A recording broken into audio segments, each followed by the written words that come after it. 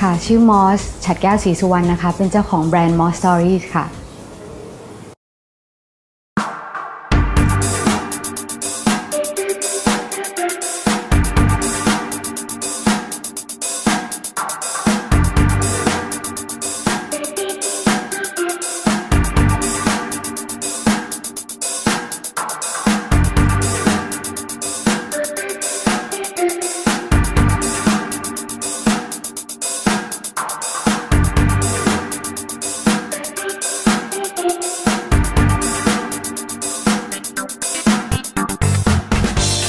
แล้วมอส s ตอรี่เนี่ยค่ะไม่ได้เริ่มจาก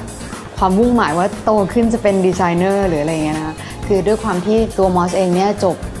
คณะศิลปกรรมศาสตร์ เอกการละคร ธรรมศาสตร์และจบด้วยเกียรตินิยมอันดับหนึ่งแบบได้เหรียญทอง หรือถ้าเป็นธรรมศาสตร์ก็จะเรียกว่าเป็นทุนภูมิพลลักษณะนั้นนะคะ ทีนี้พอหลังจากที่เราจบมาเนี่ยเราก็จบมาด้วยความรู้สึกคือเหิมมากเพราะเราเรียน ด้วยดีจบด้วยดี แล้วก็คิดว่าอนาคตเราต้องไปไกลมากแน่ๆอะไรเงี้ยค่ะ ด้วยความที่เราเรียนละครใช่ไหมคะการการละครหลักๆ แล้วมันเหมือนมันเป็นเรื่องของการตีความการวิเคราะห์ character ทั้งตัวละครหรือว่าบางทีเราก็ต้องมองว่าแบบการที่เราจะเป็นนักแสดงที่ดีเนี่ยเราต้องรู้ว่าแบบ ใจความของบทละครเป็นลักษณะไหน แล้วก็เราจะแสดงยังไงถึงจะออกมาเป็นอย่างนั้น ในแต่ละคำพูดเนี่ยมันมีความหมายอะไรซ่อนอยู่หรือเปล่า ทีนี้พอเราเรียนในลักษณะนั้นมาเรื่อยๆ เป็นเวลา 4 ปีแล้วจบมาเนี่ยมันบางครั้งบางคราวมันก็เกิดคำถามกับตัวเราเองด้วยค่ะว่าแบบเอ๊ะแล้วถ้าเราเป็นตัวละครตัวหนึ่งแล้วตอนนี้เนี่ยสิ่งที่เราทำอยู่นั่นมันคือสิ่งที่มันใช่จริง ๆกับเราหรือเปล่าอะไรเงี้ยค่ะ คือในส่วนของวิชาการละครเนี่ย เป็นอะไรที่ที่น่าสนใจมากและตัวมอสเองก็ชอบ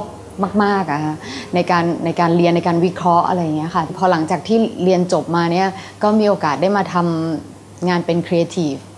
ของบริษัทอีเวนท์ที่หนึ่งนะคะ แต่ทีนี้ด้วยความที่มอสส่วนหนึ่งเนี่ยอาจจะเป็น artist นิดนึง บางทีอยากให้งานเราเป็นไปในวิถีที่เราอยากให้มันเป็นจริง ๆ แต่ทีนี้มันติดเพราะมันไม่ใช่เงินของเรา มันเป็นเงินของลูกค้า เพราะฉะนั้นคือถ้าลูกค้าอยากจะทำอะไรเราก็ควรที่จะทำให้ตรงโจทย์ของลูกค้า เพราะฉะนั้นมันก็เกิดคำถามกับตัวเองว่า เอ๊ะ จริง ๆ แล้วเราอาจจะไม่ได้เหมาะกับการทำงานเป็นทีมเวิร์กหรือเปล่า เราอาจจะเหมาะกับการเป็นศิลปินเดี่ยวหรือเปล่า ลักษณะนั้นนะคะ ด้วยความที่ตอนนั้นก็ยังเด็ก มันก็เลยเกิดความคิดว่า เฮ้ย เราน่าจะทำอาชีพอะไรสักอย่างหนึ่งที่มันแบบเป็นเราจริง ๆ สิ่งที่จะ ทำให้เรารู้คำตอบคือเราก็ต้องลองค้นหาให้เต็มที่จริง ๆ ว่าเราอยากจะใช้ชีวิตแบบไหนแล้วเราก็ list มาเลยอะค่ะ ณ จุดนั้นคือตั้งใจที่จะเขียนเป็นข้อๆเลยว่าอยากทำงานอะไรบ้าง อยากเป็นดีไซเนอร์ณตอนแรกเราก็ให้เพื่อนที่รู้จักแนะนำเข้าไป แนะนำไปคุยกับทาง Greyhound อะค่ะแต่ตอนนั้นเรารู้สึกด้วยความซ่าบ้าบิ่นของความเป็นแบบเด็กที่เพิ่งจบใหม่ มันจะมีความบ้าบิ่นคิดว่าตัวเองเก่งอยู่ณจุดหนึ่งทีนี้ปรากฏว่าพอไปถึงปุ๊บเราได้ค้นพบว่า เราเองไม่ได้มีความรู้พอในด้านนี้ที่จะสามารถมามาทำงานได้ เพราะฉะนั้นมันก็เลยทำให้เรารู้สึกว่าเราต้องมีความรู้ในด้านนี้จริงๆนะไม่อย่างนั้นอยู่ดีเราจะ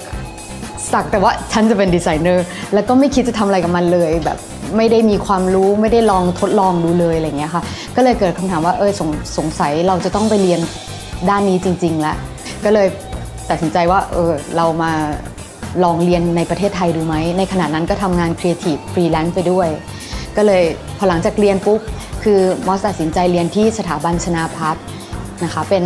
ชนาพัฒน์ International Design Institute เนี่ยค่ะคือที่วัดธรรมมงคลนะคะ คือมันจะเรียนแค่เสาร์อาทิตย์อะไรอย่างเงี้ยค่ะ แล้วก็คือในช่วงระหว่างวันเราก็สามารถทำงานเลี้ยงชีพของเราไปด้วยส่วนหนึ่ง ไปเรียนที่ชนาพัฒน์มันเน้นเรื่อง เสื้อผ้าผู้หญิงใช่ไหมคะทีนี้ก็เลยคิดว่าถ้าสมมุติเราต้องมาทำเสื้อผ้าเลยมันต้องใช้เวลาใช้ทุนเยอะ เราก็เลยลองจากอะไรที่ง่ายๆ ก่อนคือเป็นเรื่อง detail ต่างๆ ก็เป็นที่มาของการเริ่มทำจิวเวลรี่เอง โดยที่ตอนนั้นเนี่ยเพื่อนที่อยู่แถวศาลาแดงเนี่ยค่ะคือเขาทำงานอยู่ที่นั่นเขาก็บอกว่าแบบจริง ๆ แล้วตอนพักเที่ยงอะชอบมีคนมาขายของอยู่ที่เต็นท์แถวๆนั้นนะแบบเอาของนู่นนี่มาขายแม้กระทั่งตัวเขาเองเนี่ยก็เอาเสื้อผ้ามือสองมาขาย ก็เลยลุยกันว่าก็เลยคิดว่าเอยหรือว่าเราจะลองเอาความคิดที่เรามีอยู่เล็ก ๆ น้อยๆมาลองทดลองดู โดยที่ตอนแรกเนี่ยเริ่มทำจากการเอาไปขายที่พื้นทำเป็นงานอดิเรกนะโดยที่ขายอยู่ริมถนนก็ไปอาศัยหน้าบ้านของคนแถวนั้นเข้าด้วยความด้วยความที่เราไม่มีที่ขายแล้วเราก็อยากจะรู้ว่าของเรามันขายได้จริงหรือเปล่า วิธีการโชว์ของเราก็คือห้อยไว้ในตะกร้าถือตะกร้าของในตะกร้าก็คือของที่เตรียมเอามา เราก็เอาสร้อยมาห้อยกับตะกร้าห้อยกันสามเส้นแล้วก็ยืนถืออย่างนี้อยู่หน้าบ้านคนอื่นเขาอะไรอย่างเงี้ยค่ะ ก็คือจุดเริ่มต้นคือลักษณะนี้แล้วก็กลายเป็นว่าวันแรกที่จำได้แม่นเลยว่าวันแรกที่ไปยืนขายเนี่ยได้เงินกลับมา 1,600 บาท ในระยะเวลาประมาณ 1 ชั่วโมงอะค่ะ คือเป็นกำลังใจสำคัญมาก ๆ ก็ต้องขอขอบคุณทุกคนที่อุดหนุนตั้งแต่ 1,600 บาทแรกนั้น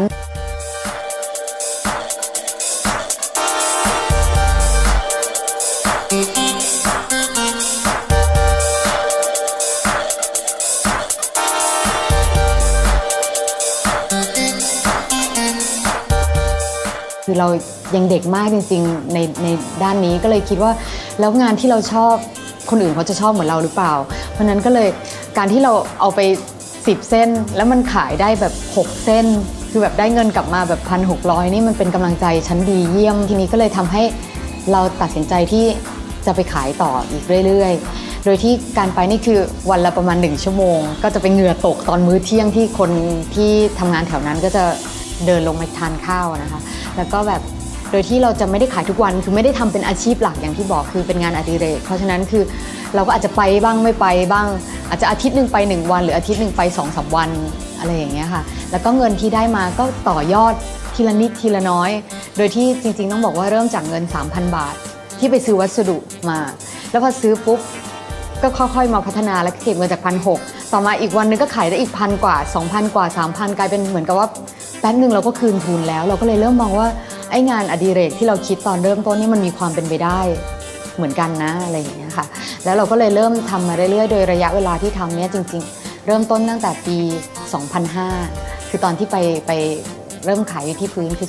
2005 คือเราใช้เวลาขายประมาณอยู่ประมาณสัก 6 เดือนได้นะคะ แต่ 6 เดือนนั้นคือแบบบางวันก็ขายบางวันก็ไม่ขายหายไป 2 อาทิตย์หายไป 1 เดือนกลับมาขายบ้างเนี้ยค่ะ ก็เลยกลายเป็นว่าจากกลุ่มลูกค้าที่ปกติแล้ว คือคือนึกว่าจะซื้อหนึ่งครั้งแล้วก็อาจจะแบบ เบื่อและพอและอะไรเงี้ยค่ะกลายเป็นว่าก็กลับมาอีกเรื่อยๆ ปากต่อปากก็บอกเพื่อนๆในในทีมงานในองค์กรเขาอะไรเงี้ยค่ะ ก็เริ่มขยายขยายไปเรื่อยๆ ก็เลยกลายเป็นว่าเราเลยได้มีลูกค้าประจำขึ้นมา คือด้วยความที่ปกติแล้วเนี่ยคือหมอเซงนี่ก็จะสนใจเรื่องเรื่องต่างๆ ที่เกิดขึ้นรอบตัวอยู่แล้ว คือถ้าบางทีถ้าไปเที่ยวไหนหรืออะไรยังไงคือ ก็จะถ้าไปหาวัตถุดิบอะไรแปลกๆ ได้ก็จะซื้อเก็บไว้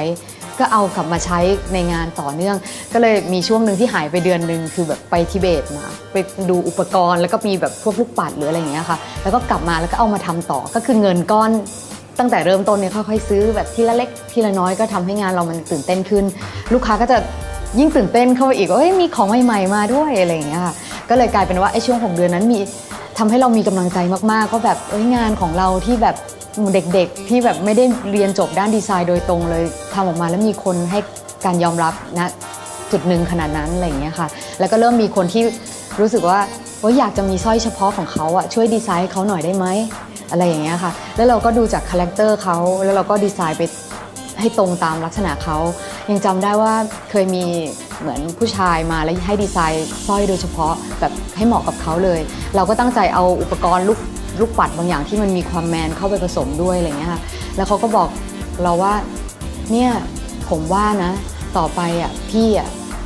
จะต้องประสบความสำเร็จด้านนี้มาก ๆ แน่ ๆ เลย คือเราคือจำได้เลยค่ะ ว่าณจุดนั้นแบบเราแบบตายแล้วเรามีกำลังใจแบบสุด ๆ ว่าเฮ้ยหรือว่าเราอาจจะทำเป็นอาชีพได้จริง ๆ ก็ได้ จากการยอมรับของทุกๆ คนน่ยนะคะ ก็เลยรู้สึกว่าโอเค หลังจากที่เราขายเหงื่อตก จากเดิมที่ขายแค่ตะกร้าก็เริ่มกลายเป็น ขอเอาผ้าปูที่พื้น ก็จะมีเทศกิจผ่านมา ไม่ให้ขายนะ อะไรอย่างเงี้ยแต่บังเอิญโชคดีที่เจ้าของบ้านเนี่ยให้ความกรุณา คือเห็นว่าเราเป็นเด็กๆที่อยากทดลองว่าแบบเอองานของเรามันเวิร์กไหมไม่ได้เป็นแม่ค้ามืออาชีพอะไรเงี้ยค่ะเขาก็แบบ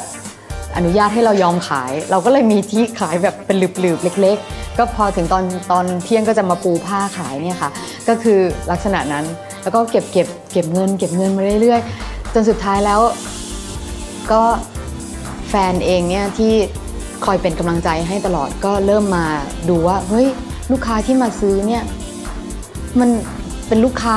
ต่อไปในอนาคตได้จริงๆนะคือมันมีการเติบโตได้จริง ๆ แล้วเขาก็คือไม่ใช่แค่แฟนอย่างเดียวครอบครัวด้วยก็รู้สึกว่าเฮ้ยจะให้ลูกไปขายเหงื่อตกทุกวันทุกวันแบบอย่างนี้ได้ไงก็เริ่มเล็งเห็นว่าเฮ้ยถ้ามันสามารถทำได้เนี่ยลองไหมเปิดร้านดูไหมเริ่มจาก เล็กๆก่อนก็ได้ เราลองดูก่อน ก็เลยมองว่าเนี่ยเดี๋ยวถ้ายังไงเดี๋ยวเรา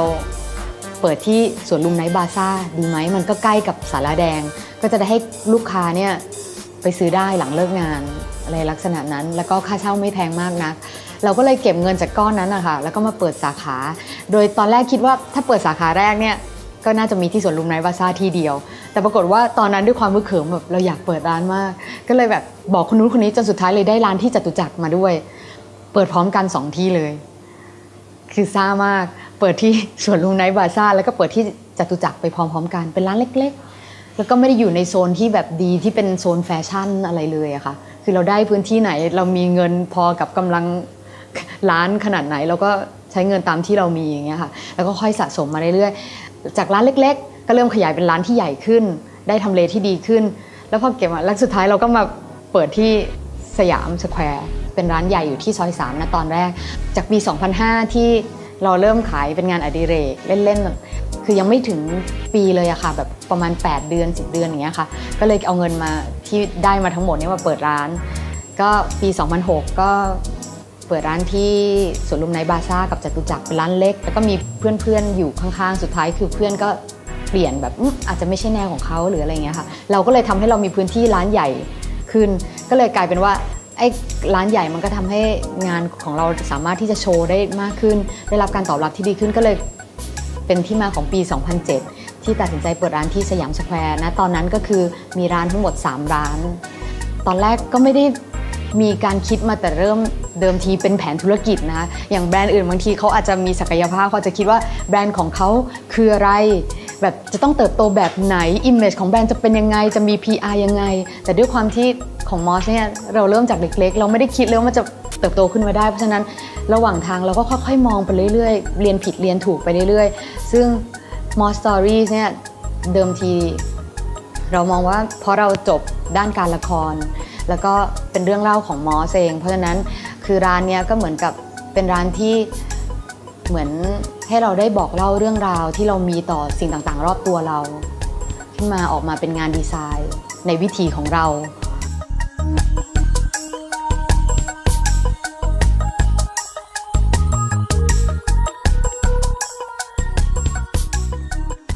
ของ m o s Stories เนี่ย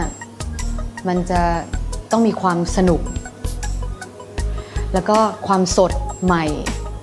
คือเรื่องราวที่เรานำมาเสนอคือ m o s Story เนี่ยแต่ละคอลเลกชันเนี่ยก็จะมีเรื่องราวของมัน โดยที่เรื่องราวแต่ละเรื่องราวที่เรานำนำเสนอเนี่ยเราก็จะคัดเลือกวัตถุดิบต่างๆ ที่แตกต่างกันออกไป เพื่อที่จะมาถ่ายทอด concept ที่เรามี บางทีมันอาจจะมีเทรนด์อื่นๆเข้ามาบ้างปะปนนะตลอดเวลาเนี่ยนะคะ แต่ว่าคือ MOSSSTORIES เนี่ยตัวตนของ MOSSSTORIES เลยคือเราจะเน้นความใหม่ความ modern แล้วก็มีความสนุกความเป็น street แล้วก็เก๋คือสรุปแล้วเนี่ยทั้งหมดทั้งปวงนี่คือเป็นเอกลักษณ์เฉพาะของ MOSSSTORIES เลย